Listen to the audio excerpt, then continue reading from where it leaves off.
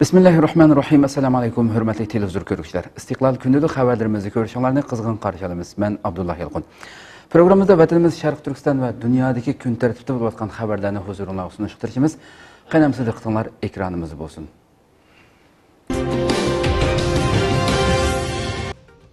Yevropa İttifaqı parlamenti Uyğurlar haqqında qərar məqulladı.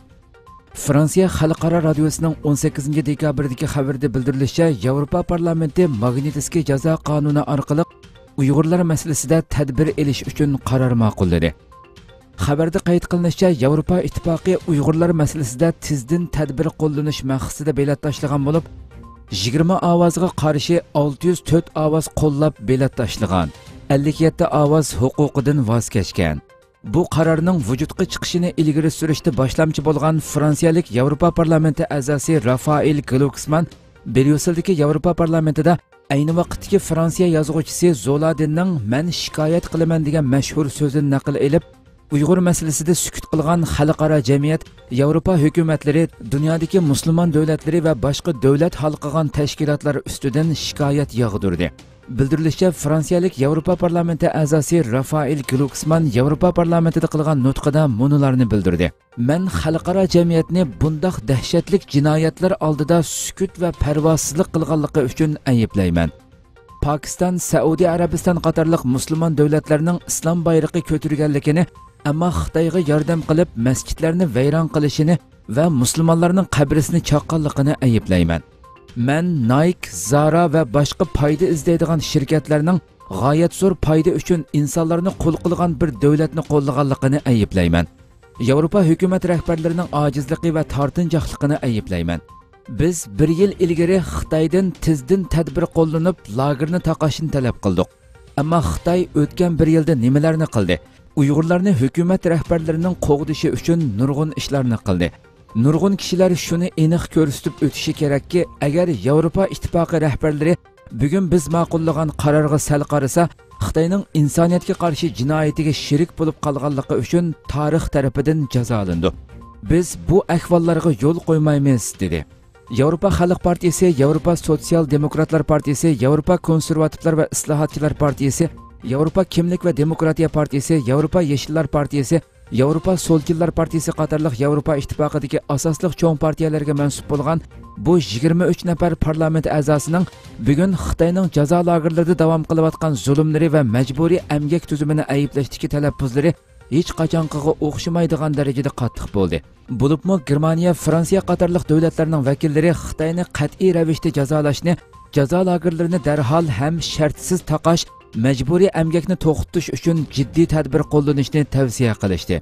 Garchi bu qitimqi yig'inning bosh temasi sharqi turkistondagi majburiy amgak va uyg'urlarning vaziyati bo'lsimi parlament a'zolarining so'zlari bu temadan zo'r darajada hal qilib ketdi. Ularning ba'zilari jazo lagerlariga qamalgan millionlagan uyg'urlarning vaziyati to'g'riliq to'xtalib buni insoniyatga qarshi jinoyat deb ayblasa ba'zilari ota onalari lager yoki turmalarga qamalib yetim qolgan bir millionga yaqin uyg'ur narsidalarning ichinishliq taqdiri haqida to'xtaldi. Yana ba'zilari uyg'ur ayollarining majburiy tug'ut cheklash to'g'risi bilan avlod qoldirish iqtidoridan mahrum qilinganlik masalasini o'ttirg'a qo'ysa ba'zilari soqchi davlatiga aylangan sharqi turkistondagi chidug'isiz nazorat sistemalari to'g'risida yana ba'zilari xitoy o'lkalariga yo'tkilib majburiy amgakka zo'rlanayotgan uyg'urlar haqida. Ba'zilari ustidagi kiyimlarda uyg'urlarning qon hidi borligini yevropa ittifoqining xitoy bilan bo'lgan savdo kelishimlariga cheklama qo'yishi lozimligi to'g'risida to'xtaldi. Yevropa parlamenti bu qitim qabul qilgan uyg'urlarga oid 23 moddali qarorida o'xshash bo'lmagan 23 masalani tilga olgan.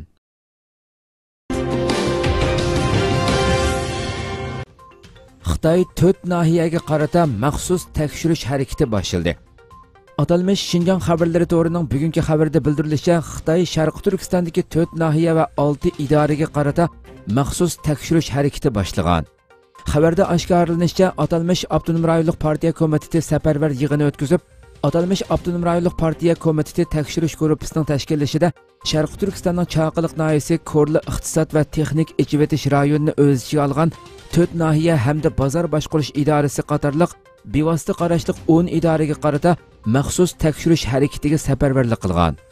Chaqiliq nohiyasining tekshirildiganligi tilga ilingan bo'lsimi biroq boshqa uch nohiyaning qaysi nohiya ekanligini oshkorlamagan. Bildirilishicha mazkur idora va nohiylarni tekshirishga 50 kun vaqt belgilangan bo'lib tekshirish shi zinpin to'qib chiqqan to'rt ong to'rtni o'ziga ishonish ikki kapolat qatorliq terrorlik siyosat ul asos qilingan safsatlar asos qilindi ekan. Undan boshqa nazoratchilikni kuchaytirish masalalarni hal qilishni ilgari surish tuzitishni yo'l qo'yish kerakligi tekshirishda navbatdagi vaziyat bilan sharqi turkistonning amaliy ahvolini zich birlashtirib siyosiy tekshirishning talabini amaliylashtirish talab qilingan bo'lsimi biroq tekshirilmoqchi bo'lgan nohiya va rayonlardagi qaysi tabiqini qandoq kishilarni tekshiradiganligi haqida tafsilot oshkorlamagan.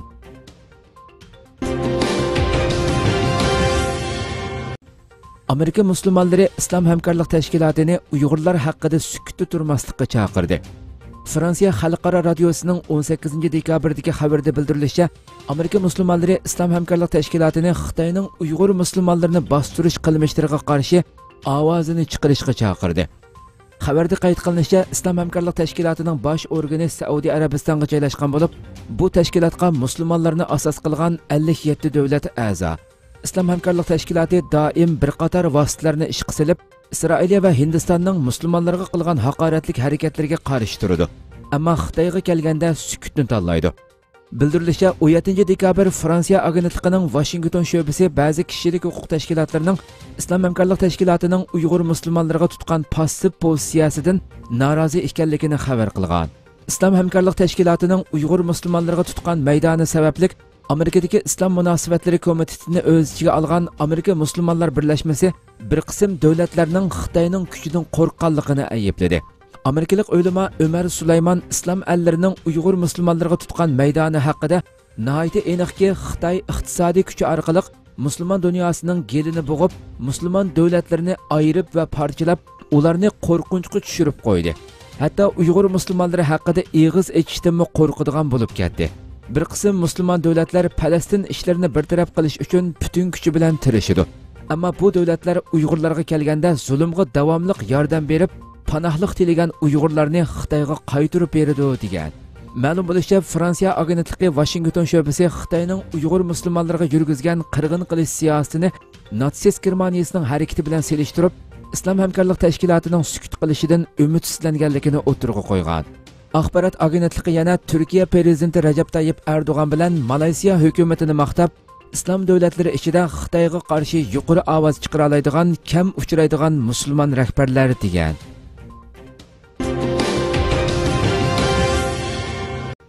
Amerika xalqaro diniy erkinlik komiteti xitoyning barliq dinlarga tahdid ekanligini bildirdi. Germaniya ovozining 18 dekabrdagi xabarda bildirilishicha amerika xalqaro diniy erkinlik komiteti xitoyning haqiqiy tahdidi faqat o'z fuqarosilar emas balki xalqarodagi diniy erkinlik va kishilik huquqi daxli taruz qilish degan. Amerika xalqaro diniy erkinlik komitetining boshlig'i jonni morning bildirishicha xitoyning kishilik huquqi daxli taruz qilganligi jumladan diniy erkinligi daxli taruz qilganligi sababli Hong Kong xalqining g'azabini qo'zg'agan. U so'zda yana xitoy kishilik huquq va diniy erkinlikni tashabbus qilganligi uchun Hong Kongda qo'lga ilingan li jiying huang jifeng Jouteng va boshqa kishilarni darhol qo'yib berishi kerak degan.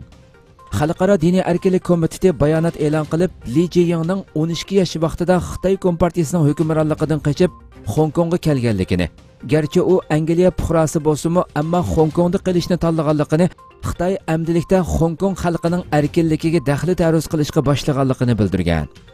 amerika xalqaro diniy erkinlik komitetining organ to'rbatida dunyodagi 16 diniy vijdon mahbusi ko'rsatilgan bo'lib buning 4 nafari xitoy fuqarosi ekan diniy vijdon mahbusi qatorida li jiyingdan boshqa uyg'ur xabar to'rbatining tahriri gulmira imin bor ekan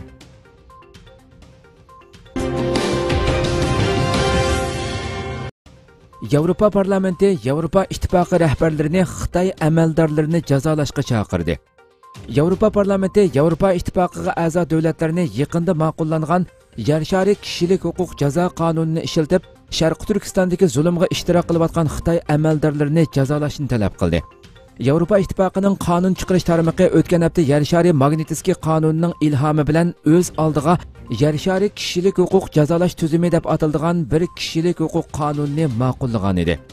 Yevropa ittifoqi bu qonunni ma'qullab uzun o'tmay yevropa parlamenti xitoy munosabatlari vakillar o'mikining boshlig'i reynhard butikofer uyg'urlarga qaratilgan bostirish siyosatining bosh ijrochisi chin kvangoning mazkur kishilik huquq mexanizm bo'yicha jazolanishini xohlaydiganligini bildirgan edi. Janubiy xitoy atiganlik pochtasining xabar qilishicha yaqinda yevropa ittifoqining tashqi siyosatlarga mas'ul mudiri josef borrilmo uyg'urlarga qilinayotgan ziyonkashlikka qarata jazo tadbiri yurgizish plani bor yo'qligi haqidagi savolga duch kelgan ekan. Yevropa parlamenti bo'lsa bugungi chaqiriqida yevropa ittifoqiga a'zo davlatlarning xitoy rejimining uyg'urlarga qaratilgan keng ko'lamli tutqun harakati va ularni majburiy amgakka selishda mas'uliyati bo'lgan xitoy amaldorlari va bingtuan qatorliq muassasalarini tizdan jazolashini talab qilgan.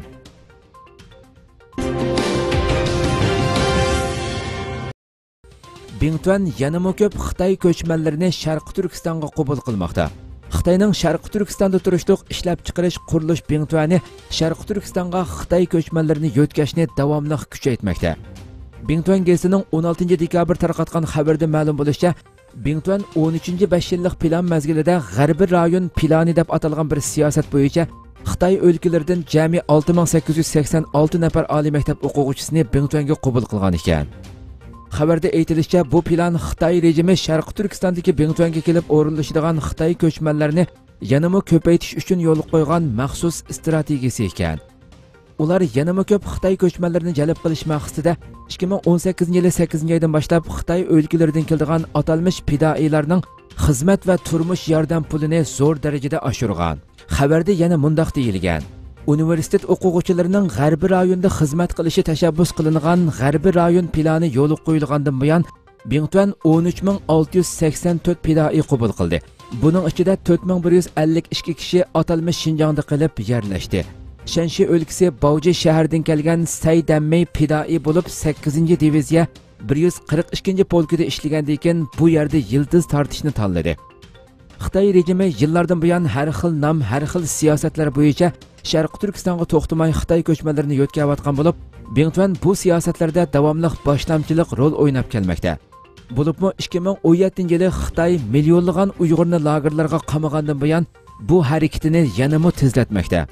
Darvaqa yuqorqi bu g'arbi rayon plani deb atalgan ko'chman yo'tkash planini xitoy kommunist yoshlar ittifoqi markaziy komiteti xitoy maarif ministrligi moliya ministrligi odam kuchi boyligi va ijtimoiy kapolat ministrligi birlikda yo'l qo'ygan ekan.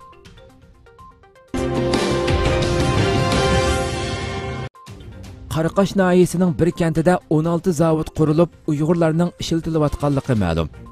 Xitoy rejimining uyg'urlarni arzon baholi qul amgakchilariga aylantirayotganligini xitoy o'zi tarqatgan xabarlardamu oshkorlanmoqda.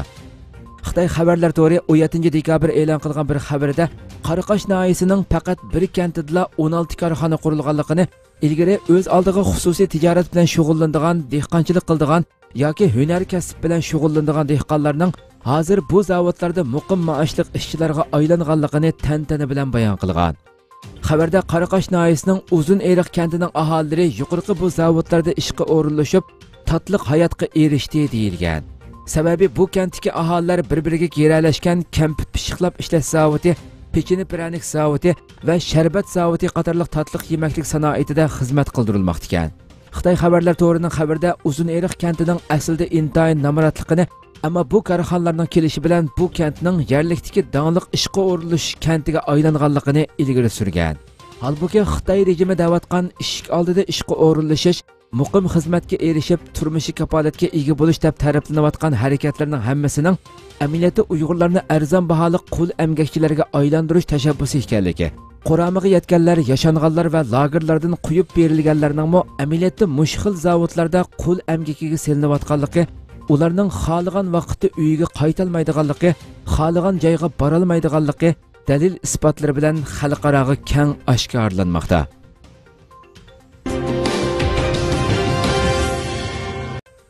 Turkiyada bir kun ichida xitoy virusi bilan 243 kishi qazo qildi. 17 dekabr turkiya jumhuriyati sahiya ministri fahriddin Koca bir kun ichida xitoy virusi bilan yuqumlanuvchilarning 27515 ga yetganligini e'lon qildi. Sahiya ministrining ma'lumotiga asoslanganda turkiyada xitoy virusi bilan yuqumlandi deb gumon qilingan 206102 kishi tekshirilishi orqali yangidan 27515 kishining yuqumlanganligi aniqlangan. Navbatda 4209 kishi doktorxonada bo'lib bir kun ichida yana 243 kishi qazo qilib 30494 kishining salomatligi asliga kelgan navbatda turkiyada xitoy virusi boshlangandan beri salomatligi asliga kelganlar jami 1 million 721 ming 601 ga qazo qilganlar 17 ming 364 ga kesili og'ir bemorlar 5803 ga yetgan Fahrettin Ko'ji yana uzun bir vaqtdan keyin yuqumlanuvchilarning soni azaydi. tədbir və çəkilimlər nəticəsini görüşüşə başladı. Bunu izginlikqa əkildiğən kişilər yenili biz. Şuna nəticəyə erişkücə köləş qılaylı, dedi. Merkel Türk doktorlarını təbrikledi. Germaniya baş ministri Angela Merkel Xitay virusi vaksinasi tədqiq qilib yasab chiqqan Türk doktorlar Özlem Türəci və professor doktor Uğur Şahinni təbrikledi. BioNTech shirkatining direktori va Turaji va Shohim bilan video konferens vositasi orqali ko'rishgan Merkel Germaniyaning bundaq bir tadqiqotga sahib bo'lganligidan intayin faxrlanganligini eskardi. Hamda ikki olimning turk ekanligini ta'kidladi. Shohim bilan Turajimo Xitoy virusi vaksinasi tadqiq qilib yasash faoliyatlarini qo'llaganligi uchun federatsiya hukumatiga rahmat etdi. Hurmatli televizor ko'ruvchilar, shuna qilib bugungi xabarimiz mushu yerda oxirlashdi. Atigi xabarimizni ko'rishgacha sizlarni janobiy Allohga topshiramiz. Shunaqa programma oxirida ekran orqasidagi barliq xizmatdoshlarimga ko'pdan ko'p rahmat aytaman. Assalomu alaykum va rahmatulloh.